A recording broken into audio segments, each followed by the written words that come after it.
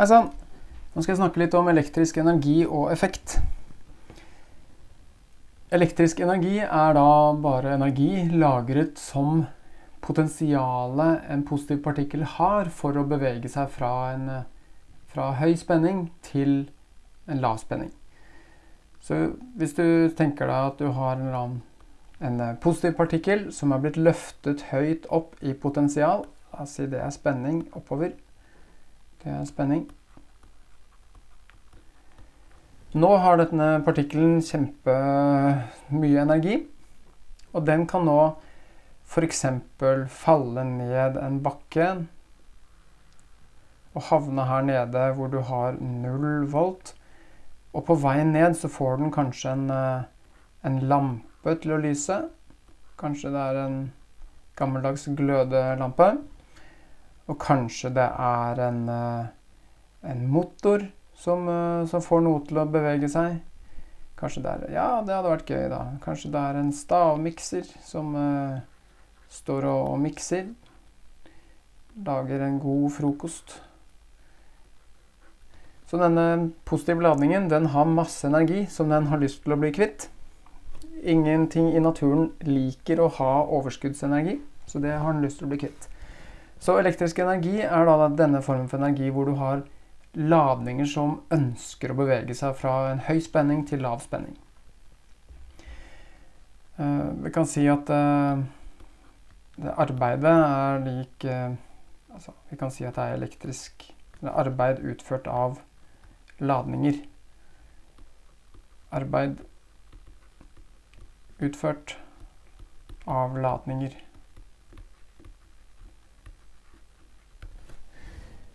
Japp. Effekt, det er da arbeid per tid. Arbeid per tid. Og så er det sånn at vi kan eh, skrive det på Hvis du har bare elektrisk energi, så er det kjempelett å regne ut effekten. Det er da spenningen ganget med strømmen. Spenning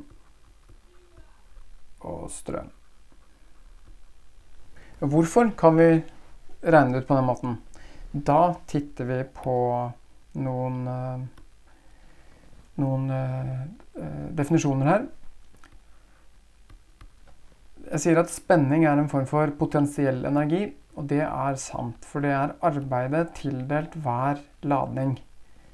Spenning er definert som arbeidet som hver ladning har blitt tildelt når det, blir, når det øker i spenning. Og så har vi strømmen, det er bare et mål for hvor mange ladninger som beveger seg per tid. Og ut fra det her så tenker jeg vi kan eh, Jeg ser noe W og noen Q-er. På begge steder og noen T-er og W. Kanskje vi bare kan putte dette her inn, for, eh, inn i denne uttrykket her. Men først så tenker jeg kanskje å skrive om den ene her til eh, jeg skal skrive om den til Så her har vi Q lik IT. Bare flytter T-en opp. Så putter jeg dette innfor her. Ja, kanskje Ja. Og så gjør jeg om dette her som, så det blir som W.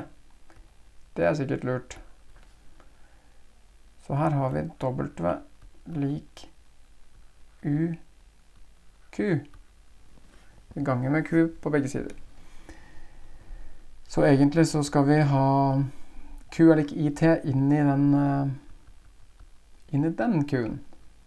Nå bare putter vi dette her inn uh, for uh, P. Kanskje ha en ny farge igjen. Det er gøy med det er gøy med mange farger. Vi tar en lys lilla. Vi sier da P lik W, som var UQ. Det ble U, og så var det IT istedenfor Q. IT, og så deler vi på T. Så tar jeg fram den berømte forkortingsfargen rød på rød. Og da står vi med P lik U ganger I.